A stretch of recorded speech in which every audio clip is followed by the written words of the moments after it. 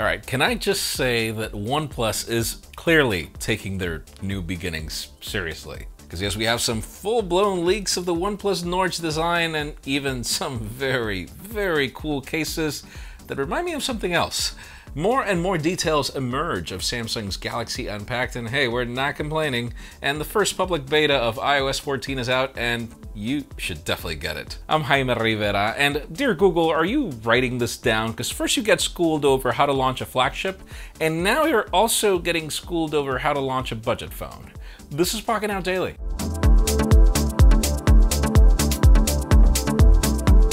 The official news today begin with deals. This one is huge. But there's a catch. Right now you can get the brand new iPhone SE for as low as 120 bucks at Best Buy. But, uh, well, you have to get it on a 24 month installment plan on Sprint, which will be merging with T Mobile soon. And it also has to be on a new phone line. So if you could qualify to that, then fine. It's a huge catch, but it's kind of a huge deal as well. The Samsung Galaxy S20 Plus is still $200 off, leaving the entry-level variant for 999 shipped, but it comes with the US warranty, so that's the reason why you should care.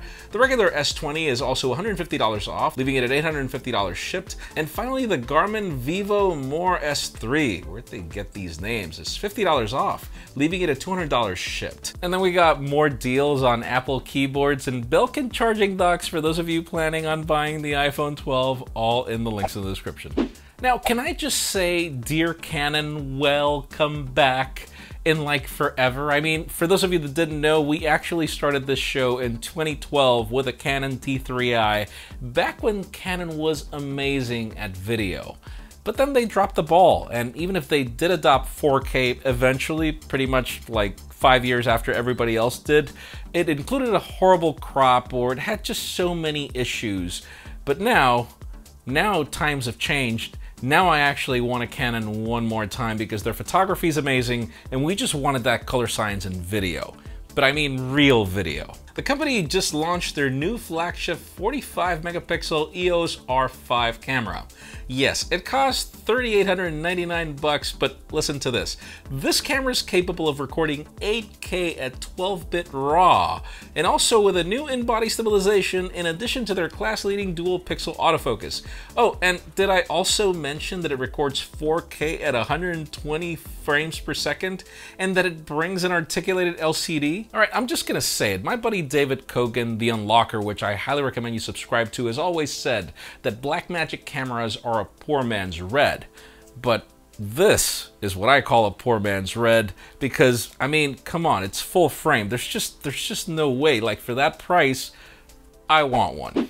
All right, and let's now move the spotlight over to Google and its Android 11 beta. As I've been testing it, I've been loving it. I did a video on the Pixel and how it's revived my desire to use it mainly because of that, and it keeps getting better. Public Beta 2 is already available, and uh, even if we don't have a launch date for the final software, Mountain View just uh, leaked it pretty much. Google released a video titled Works with Hey G, and you know what I mean with that, Smart Home Summit APAC, and it revealed through a checklist that Android 11 will be officially released on September 8th.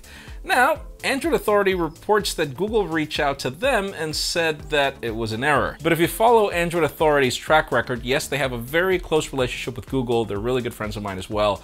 And, uh, well, at least we get a close idea as to when to expect it. September's not that bad. And speaking of betas, yes, iOS 14 is now in public beta finally, actually public beta 2, which is rather interesting.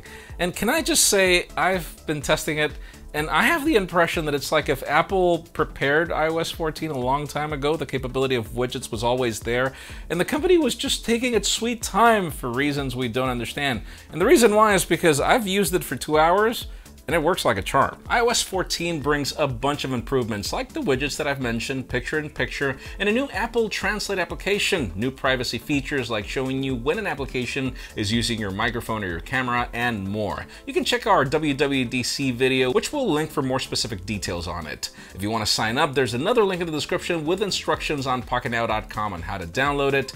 iPadOS 14 is also available. WatchOS is also supposed to be available, but not really. The link is currently currently grayed out, but there are a ton of tweaks you should consider, though sadly, in the case of iPad OS, which Widgets still only work on landscape. You can't throw them on the icons. I really don't know what the point is. We'll keep you posted. I expect a video coming soon over what the real experience is. Now let's talk about certifications, but don't worry, it's not going to be boring because it actually has everything to do with what's going to go on at Galaxy Unpacked. We think. Now, for example, we've got specifications for the Galaxy Tab S7 Plus, and according to the report, this product is going to be no chump. It'll be powered by the Snapdragon 865 Plus 8 gigs of RAM, 256 gigs of storage, and a 10,090 milliamp hour battery that also supports 45 fast charging. And you know, Samsung tablets, they've never been great about specs. It'll also bring 5G connectivity, but apparently only supporting sub 6 bands. And it seems that it'll also pack dual cameras at the back in addition to an 120 Hz display. Now, moving on to another certification, the Galaxy Buds X or Buds Live just went through the FCC as well, revealing the dimensions and the fact that they will weigh around 5 grams. They have this bean shape as they're meant to go inside your ears like the Buds Plus and will reportedly cost $140 to undercut the AirPods Pro while they bring active noise cancellation. Now the interesting part is that some of the leaks hint to this launching along with the Galaxy Watch uh, or Galaxy Watch Active 2, 3, no, it would be the 3, July 22nd, not necessarily for Unpacked, so stay tuned, we'll keep you posted. And finally, the hottest news today have to do with the company that is once again disrupting how you launch a phone. We saw with the OnePlus One where they had this invitation system because they just did not have enough demand. Now the company is hinting to the pre-orders selling out in seconds and we get to see more about what to expect for this phone, and it's it's kind of hot. This time the leaks don't come from OnePlus. The first one is a couple of pictures posted by none other than Evan Blass, showing the phone off in the black color variant. We get to see the quad camera array at the back along with the dual punch hole at the front, pretty much confirming the leaks and the teaser we saw earlier. The second image also comes from Evan, now showing off the cases which will apparently be made by three different artists. The first two come from a Swedish artist called Camilla Armstrong and Finsta. And then the third one is from none other than our buddy Zach over at Jerry Rig Everything. Dude, good for you. I love it. Uh, I wonder, I mean, this is a teardown design, so yeah, it looks really cool from the leaks. But let us know in the comments down below. I mean, let us know what you think about what OnePlus is doing with this New Beginnings campaign. Do you think this is a smart way to launch a phone? Because I'm going to say something. If this phone is priced the way they're saying it's going to be priced, and it brings everything that it brings, I mean, this is the way you do it, man. I mean, every company should feel proud of their phones, regardless if it's a flagship or not. And I think that OnePlus is doing justice to the roots with what they're doing. But that's just me. Leave us a comment down below. We'd love to know your opinion. Friends, again, if you want to get the news earlier, follow us on PocketNow.com and subscribe to our channel for more videos like this one. Also follow us on social medias. Our extended coverage happens on Instagram and follow me on my personal handles to see me.